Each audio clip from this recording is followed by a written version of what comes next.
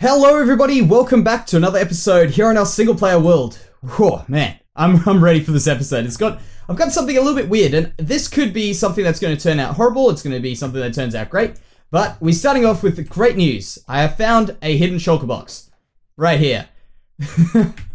uh, now it's a matter of me finding some of my other ones where I've left them in, in really dumb places. But yeah, this one's actually kind of useful for us today because I'm going to get into something which I'm not too sure, you know what, it's probably been done before, but I think it's quite an original idea in any case. And this could be either a massive failure or it could be a great success. So uh, we are going to take the risk.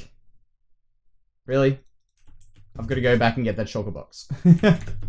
yeah, I, I missed the shulker box. Uh, but yeah, this could be a great success because if we do get this right, uh, we can say we've got it right. so this tree over here, we started in the last episode, and the reason why I'm referring to this tree right now is because we are going to make it into an apple tree. And I know what you're saying. Jansey, if you're going to be using item frames, that's not going to be a proper apple tree. And uh, I think you, you can almost figure out, if you had a look at what I've got on me, you might be able to figure out what my plan is, at least. Uh, and hopefully it works. In fact, I need I need one more combination of things, which is on the mainland over here. And then we are pretty much ready to give this a try. Just down here. Okay, maybe not down here. Okay, it turns out my redstone box was right here. oh man, why, why did I do that to myself? Alright, we'll get rid of that, get rid of that, and that. We don't need them, but we do need one or two of those, and a few of those there, and then we should be ready to go. So yes, we are going to be using these uh, armor stands, which I've got in my inventory here, to try and make some apple-looking things coming out of this tree. Hopefully we can get this to look somewhat like apples. So let's go back here and see what we would, where we would want to see it. Probably around there. That'll be a good spot. Around here somewhere. So the trick to this is, by the way, if you haven't seen me mess around with armor stands before, I don't do it too often. Uh, but I think they are really, really useful for some really cool things. So we'll first of all boost ourselves up with two of these. And then we'll put one of these, because the, the trick to this is you have to have them at an uneven number. So in fact, we, uh, at an even number, so, uh, no, at an odd, an odd slab, if you get what I mean. So we need the slab to be here. Can I get out of here? Yeah, I can. And then, one like that. So what I've done is now I can put in, on this armor stand, I can put in a helmet, a red helmet, put it on here. Hopefully this is backwards. Okay, I've got to change this armor stand around here, and then we'll we'll get out again. There we go. And I want this armor stand to be facing this direction here. Alright, so then I get that helmet in there, and it's quite red, so I think that'll actually look pretty good. I think we should just be able to see them. The one downfall of this idea, though, and uh, I, I do understand it is a problem, is the fact that we can only put them upwards. We can't we can't put these on the bottom of the things because you can't flip armor stands upside down which is a little bit annoying, but of course we can't do anything about it. And not only that, it's I think it'll work regardless of what what happens. So we'll get that, get that. And I've I've messed around in a creative world if you're wondering why I, I knew that we're gonna need glass. I actually forgot that stairs, uh, well not stairs, sorry, uh, leaves, how, how did I say stairs? Uh, leaves actually can't be pushed by pistons, they break immediately, and I actually don't know why I forgot that. So there we go. Look at that. So now we can walk through this. It's not going to be a, a giant hole in the middle. And there's our first apple. And I want to just get a few of these around. And I'm not going to make too many. I think it'll be alright to just have a few. And I'm also going to get a few jungle leaves in here. I think that will really work. So let's give another one a try. And while I'm giving this a try, actually will let you guys know... Oh, I thought I just missed that. yeah, while I'm giving this a try, I'll let you guys know that the texture pack with that wheat, that potato texture, and our water texture and I have also got our sky texture. So this sky texture I will not take any credit for, but what I have tried to do is um, get permission to use it, and what I realized is that we already have permission to use it. So basically the way that, because I of course did not make that. I, did, I didn't want to use someone else's stuff that I didn't make and uh, make it uh, make it something that I have um, I have done, if you understand what I mean. So I'm not going to take credit for something like that. But what the current like license for it is is that anyone can use it. So basically anyone can use the sky pack and adapt it into my texture pack, which is the thing I've just done. And hopefully everything is good because I haven't actually put the texture pack up online yet. Maybe there might be something I'm I'm overlooking, but currently it looks like we'll have this out by the time I put this video out. So if you guys want to, I know a lot of you guys do want to want to get it. So if you want it, there'll be a link down in the description right now. I would imagine I should have put it there. If not, remind me. Remind me, please. Because of course it's easy to forget these things, and uh, yeah, we're not we're not gonna forget it. Hopefully. All right, so we'll go in here, do another one, and I sincerely hope that these apples turn out to be a good idea because it's something. Tell me if you've seen this before because I've never thought about it until just then. I was I was actually. This is one of those stories where you're like, it came so organically to me. I was like, I was eating an apple, and I'm like, man, it'd be awesome to have an apple tree in Minecraft. and that's it. that's the story, and then this pops into my head. Uh, we'll put this one, how about we put this at a bit of an angle, like that. There, perfect. And I also brought some clothing of, for these things in case, well, the issue that I thought we might run into is that the armor stand is a bit too visible from the outside, but I think we'll be alright for that. We, I was going to dye them green and hopefully hide them. I'm actually feeling like the, uh, these blocks aren't actually 100% necessary. But it's always, oh man, it's always worth it to I guess just finish off the build properly. Get out of there. and one more down. Beautiful. Alright, so let's take a look at these, and then we can get going on, well, finishing off this tree. So just step back. Yeah, a few little apples here and there. If anyone has a cool idea for getting them onto the sides of the tree, that will be awesome, an awesome thing to know. Uh, but yeah, I, I don't know any way of doing it. The only way I can think of, actually, let me, let me just try this quickly. There's the idea. I was planning on putting this in the side here, but you can't really see it too much. I did dress the armor stand up, by the way, in an, like, in armor armor. So the whole thing is completely dressed up. I've also had another cool idea to do with apples. In fact, I've, uh, we'll have a look into this in the future. Kind of a magical thing going on, and I'm sure I'll probably get this in the comments. I, I hope I get this as a suggestion. It'll be, it seems pretty obvious to me to do, but uh, it's not really obvious if you're not thinking the way I'm thinking right now. So I'll be interested to see if anyone does come up with a suggestion like this in the comment section, which by the way, I, um, I know I do say this quite often, but I really do mean it. Uh, thank you so much for everyone being so supportive recently. It's been really, really awesome, specifically in the comment section and on stream and everything. It's just really, really awesome to see so many people so enthusiastic. It's just, I, I, I I am blown away. it's just really cool. So thank you very much for that, by the way, guys. So what I want to do now is just put this one in and see if this has got a good angle. Please tell me this has got a good angle. Yeah, that's it. So we just need a few more little red pieces. I wish they were a little bit more red. Maybe if I can try out just changing this color a bit. So a bit of pink, then go back to red. What happens then? Do we get red? We go to pink. And back to red. Does that make a... Still a bit too... No, that could be alright. It's still going to be quite dull, I guess. So that's nine, nine, four threes, and then this one's got a different color. Very similar colors. Okay, didn't really help us too much. So yeah, I'll put in a few more of these, and then I've got a plan for a, a little fountain that we're going to be building on that side.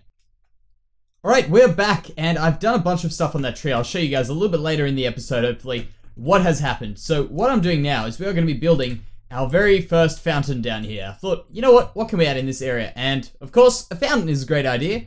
And because I didn't want to put anything else out there, I think a fountain will go pretty well.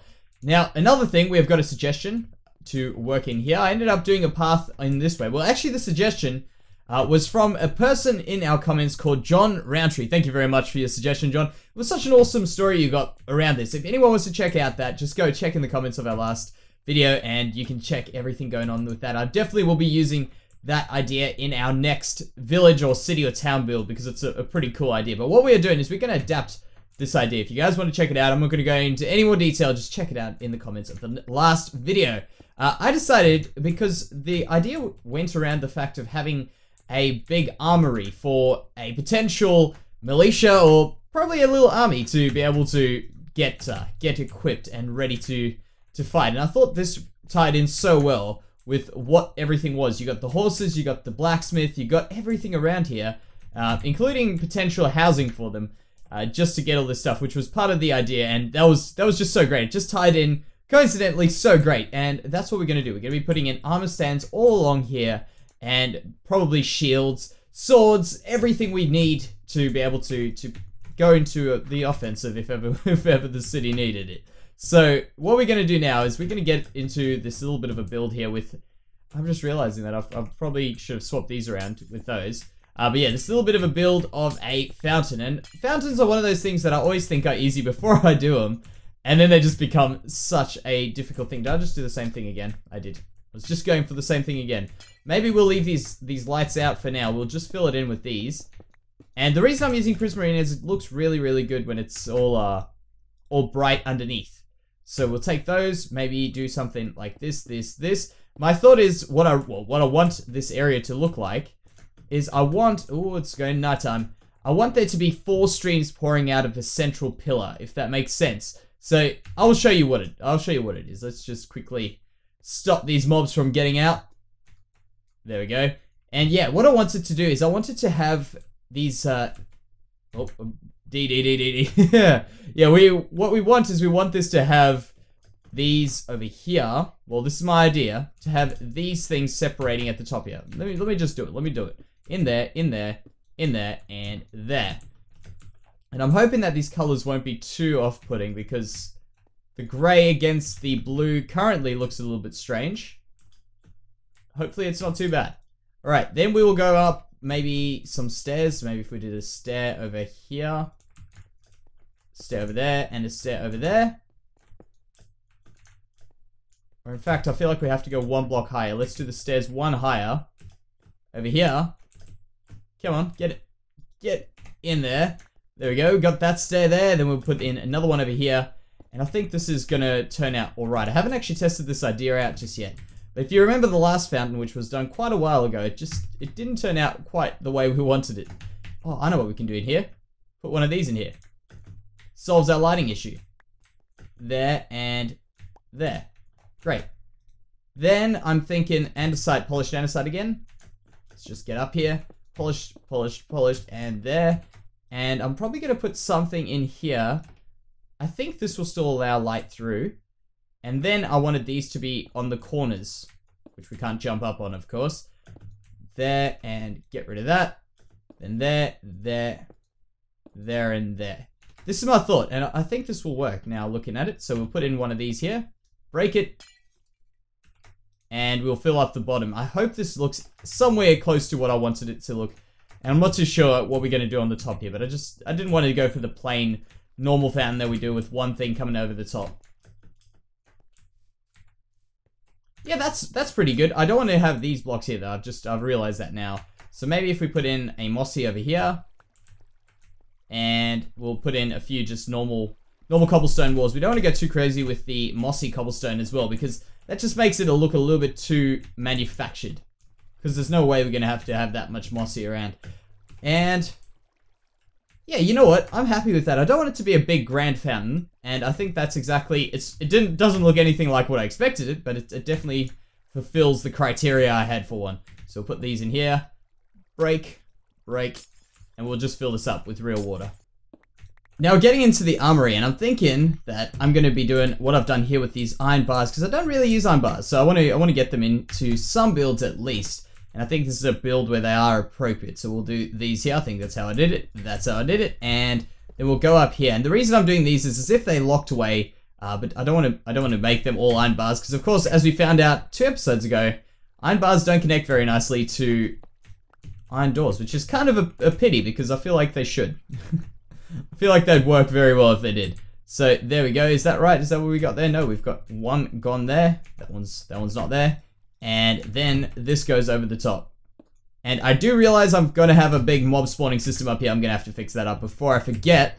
But now it's time to get in our armor stands. And I've done a bunch of armor stands. Actually, have a look at this. Right, this is this is the most armor stands I've ever done in here. Where are they? There. So we've got now what three, five full stacks, and nine plus a bunch that I've used in the trees. I hope they don't cause us to get too laggy, but I don't know. I don't even know if they will make us laggy at all.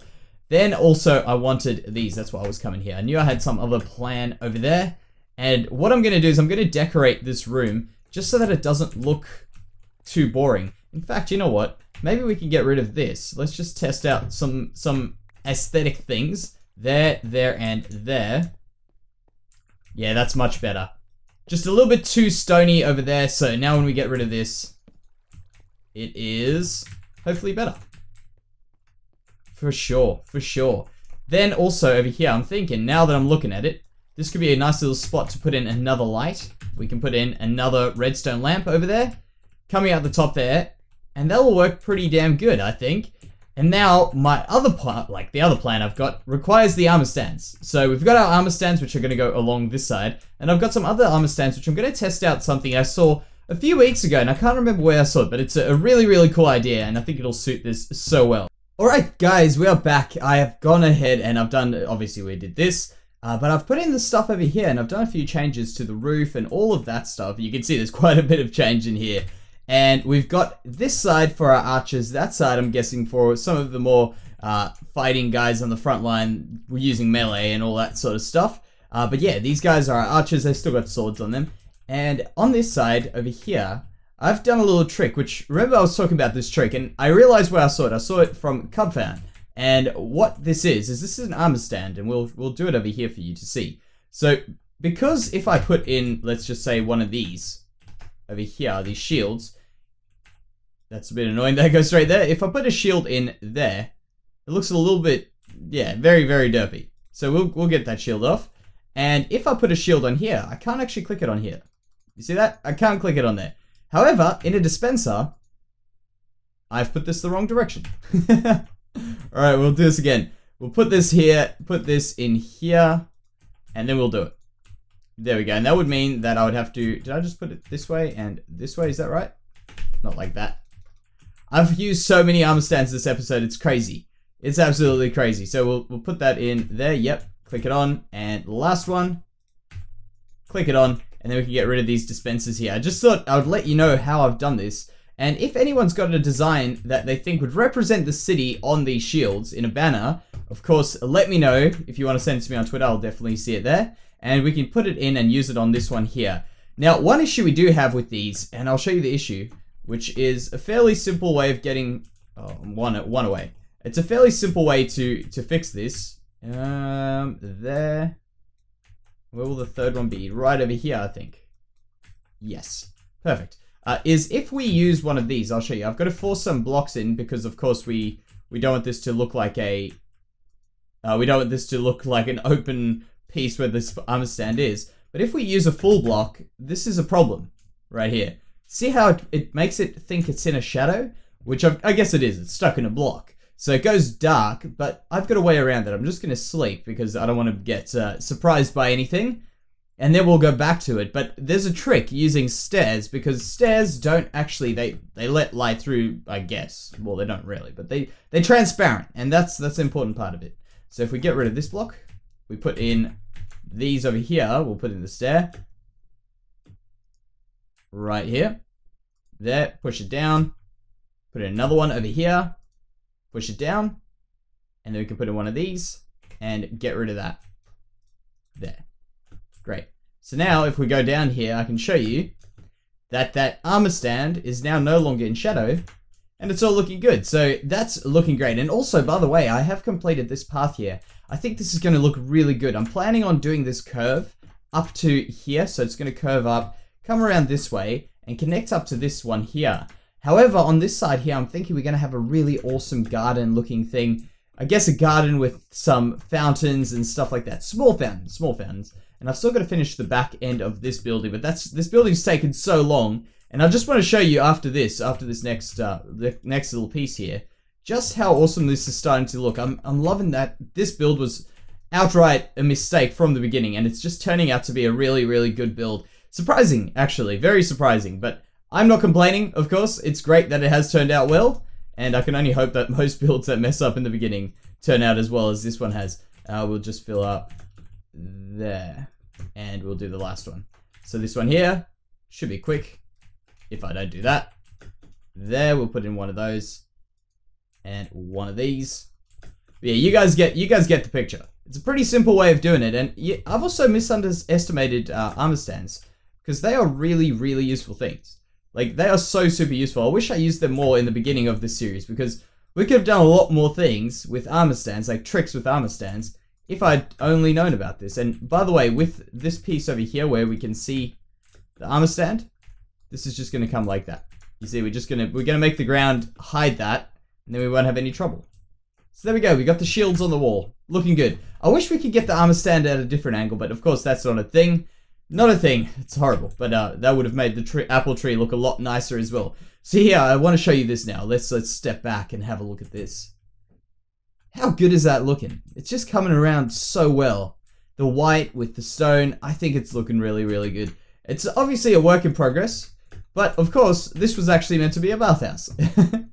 and that has changed significantly. Now, I did promise I'll show you guys the apple tree. It's still going to be finished on the back end of it. It's just taken so long and we're going to need more leather.